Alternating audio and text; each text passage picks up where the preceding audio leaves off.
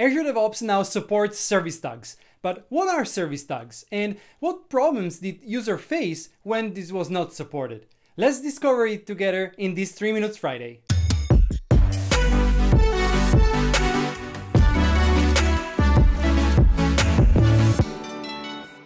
Hello everybody, welcome back to Coder Dave and welcome to a new episode of the 3 Minutes series. In each episode, I will try and explain a concept, showcase a product or service, or yet try and teach you something and all in just 3 minutes. Short videos, big value.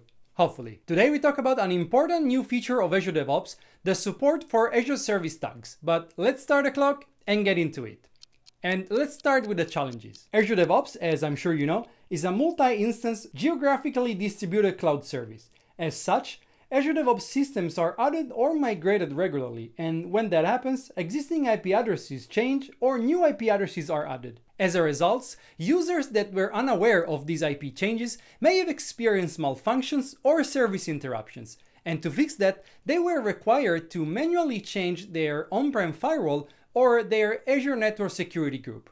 But how do service tags help? Service tags are a convenient way for users to manage their networking configuration to allow traffic from specific Azure services. A service tag basically represents a group of IP address prefixes from a given Azure service. Using service tags, you can define network access control on network security groups or Azure Firewall or even on-prem firewalls. By specifying the service tag name in the appropriate source or destination field of a rule, you can allow or deny the traffic to or from that specific service without worrying about its IP addresses. Now that a service tag has been set up for Azure DevOps, users can easily allow access to services like Azure Repo, Azure Boards, and Azure Pipelines by adding the tag name Azure DevOps to their network security groups or firewalls programmatically using PowerShell and CLI or in the Azure portal. And in case of an on-prem firewall, Users may also use the service tag for on-prem firewall via JSON file download. It's important to note that the new Azure DevOps service tag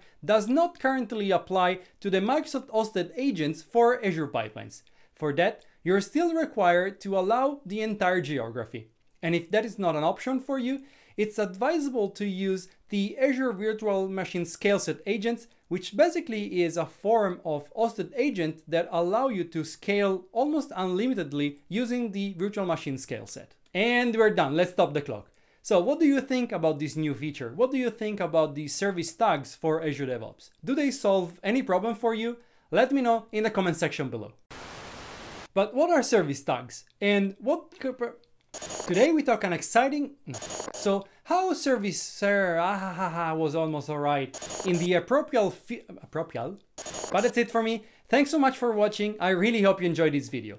Hit the like button below, subscribe if you haven't already and I see you in the next video here at Coder Dave.